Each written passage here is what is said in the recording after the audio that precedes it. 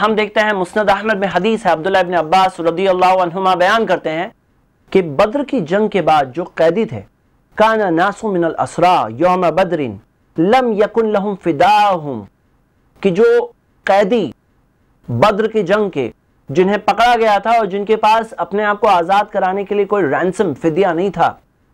فجال رسول اللہ صلی اللہ علیہ وسلم فداہم ان یعلموا اولاد الانصار الكتابتا کہ اللہ کے رسول صلی اللہ علیہ وسلم نے ان کے فدیہ کو یہ رکھا کہ وہ انصار کے بچوں کو لکھنا پڑھنا سکھائے۔ مسند احمد میں حدیث ملتی ہے جس کی تحقیق شعیب ارنوت نے جو بتائی حدیث صحیح سند سے ہے۔ میرے بردرز اینڈ سسٹرز یہاں پوائنٹ کیا ہے؟ بدر کی جنگ میں اللہ تعالیٰ نے مسلمانوں کو کامیابی دی۔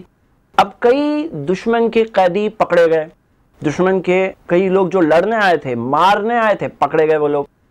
اب اللہ کے رسول صلی اللہ علیہ وسلم نے ان کے لیے یہ فدیہ اپنے آپ کو آزاد کرانے کا ایک میتھڈ ان کو دیا کہ تم ہمارے جو انصار کے بچے ہیں، ان کو تم لکھنا پڑھنا سکھاؤ۔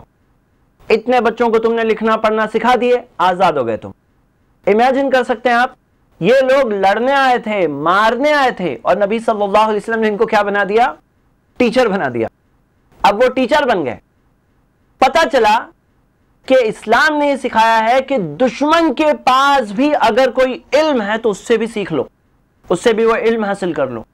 تو ہم دیکھتے ہیں اسلام کے اندر تعلیم اور ایجوکیشن کی اتنی زیادہ اہمیت ہے کہ نبی صلی اللہ علیہ وسلم نے دشمن کو بھی کیا بنا دیا؟